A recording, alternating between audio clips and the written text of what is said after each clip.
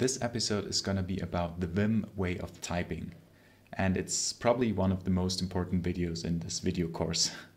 So um, it's not going to be that much about the Vim editor itself, but more like the way of thinking. But let me start with a story. Um, two years ago, I was at the JavaLand conference in Germany, and I met this great guy named Dan Allen, which uh, who is the uh, project lead of the Asciidoctor project. Besides a lot of other projects, apparently his day has more hours than mine. And we were talking about AsciiDoc. If you don't know AsciiDoc um, already, it's a really nice uh, lightweight markup language, but uh, that's another story.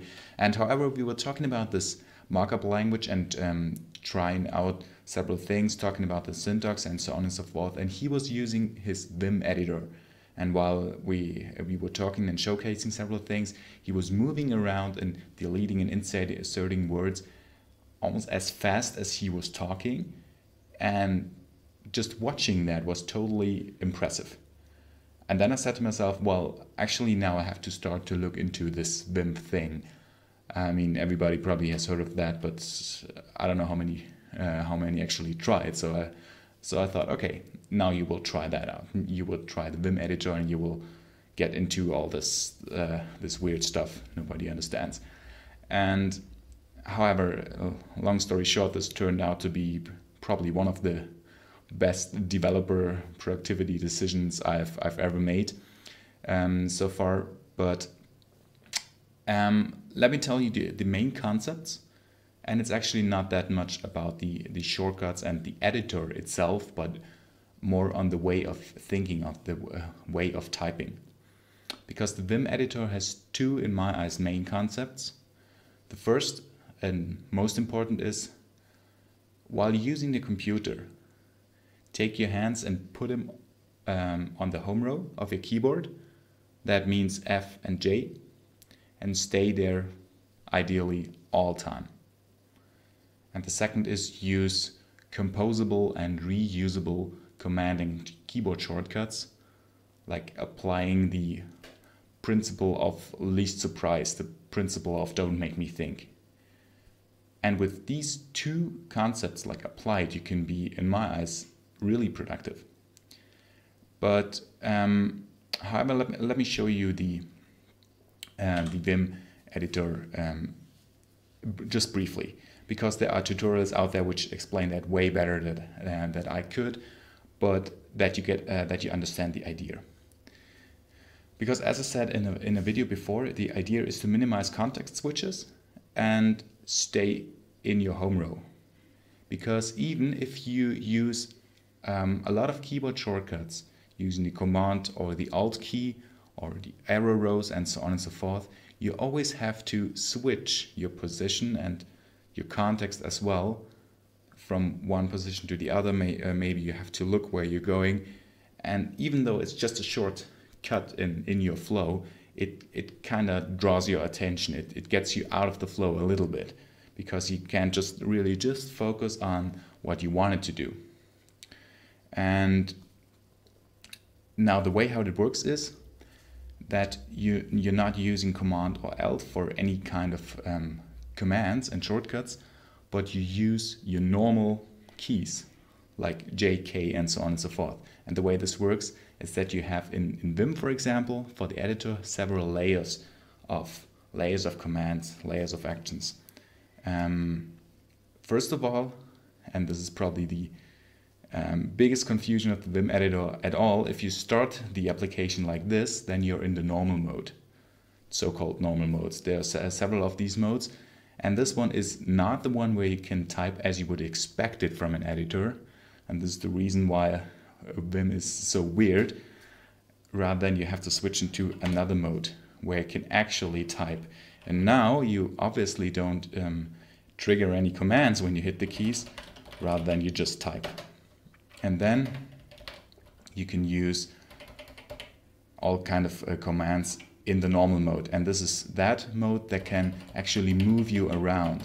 And now you don't see that. I'm sticking with my hands just on the home row all time. And the way this works is H, J, K, and L for the movements. actually once you get used to this pattern, it's just as fast as using the arrow rows. But you don't have to do the context switch. That's a nice thing. And well, you switch into the writing mode by hitting I for insert in this case, or hitting all kind of other letters uh, that would trigger another command, and you go back by hitting escape. And I don't want to show you Vim actually, because there are tutorials out there that could do this way better than I can, but just the main concepts. And this concept of moving around is one. Um, going back with your escape key, the reason, and as I said, you want to be on your home row as much as possible. Um, the escape key is used for that is actually back then the escape key in the original layout of the editors, uh, of the author of the editor was where I think now the caps lock key is. And actually on my computer, I remapped the caps lock key to be escaped because who needs caps lock anyway, right? So I don't need to do this to go up until the escape key, but just can do it um, with your little finger.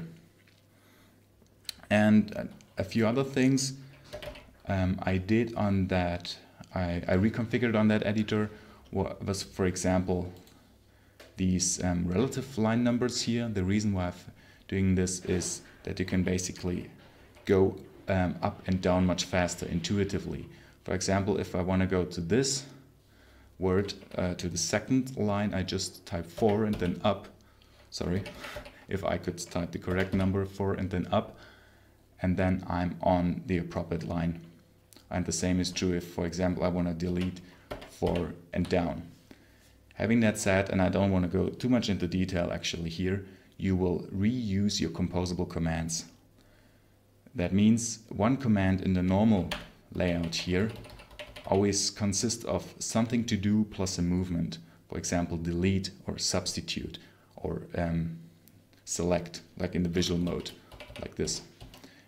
And for example, I will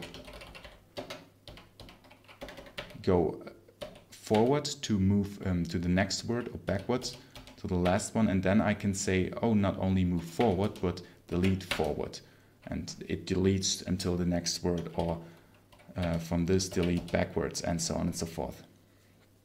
And this is the, the way of, of thinking that you can apply the same logics of your um, key commands all over again and it will work as expected.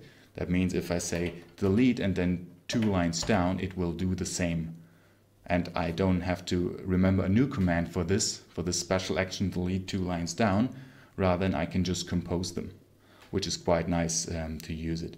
And actually there are some applications out there that use, use this approach and I would say a good crafted application in terms of key codes um, uses this way. For example, IntelliJ does, I think, a, good, a pretty good job with it. If it, it has some kind of uh, keyboard uh, shortcuts and you can apply them pretty much in the same way in, in all kind of menus. For example, with the Alt key plus something and um, you can just do your commands ex as expected.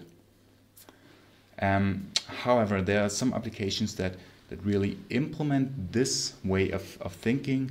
For example, for Gmail, there is an advanced um, key, key code setting that basically um, allows you to, to use this HJKL movement to move around and then some mail commands like open reply and so on and so forth that are basically easily easily reachable from your home row which is a nice way of being really productive and I and I saw that once you, once you can kind of apply these ideas then you will be faster than just switching your um, switching your commands to, to something else, like switching your finger position to the um, control plus something or alt plus something combination, because this always moves you away from your basic um, hand position.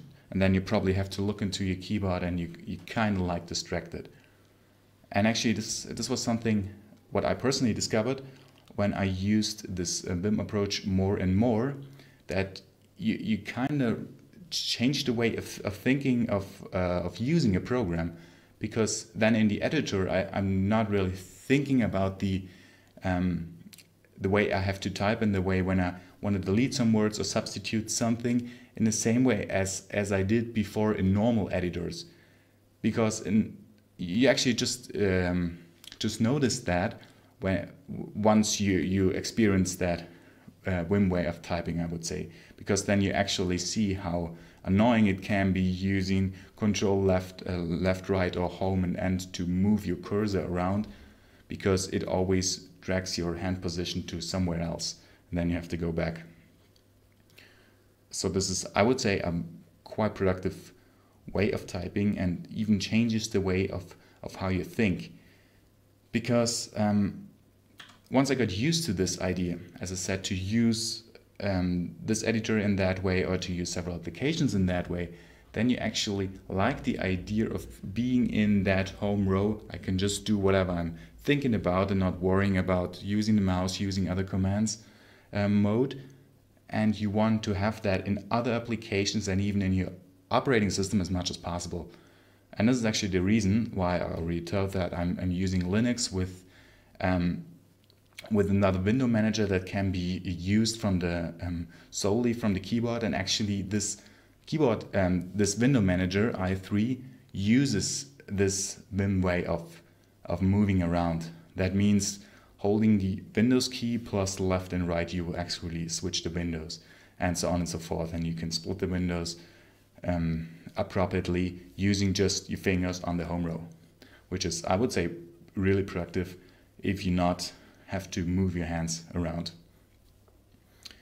And this is um, basically most of the ideas and, and the main concepts of this way. I really encourage you to at least take a look at this.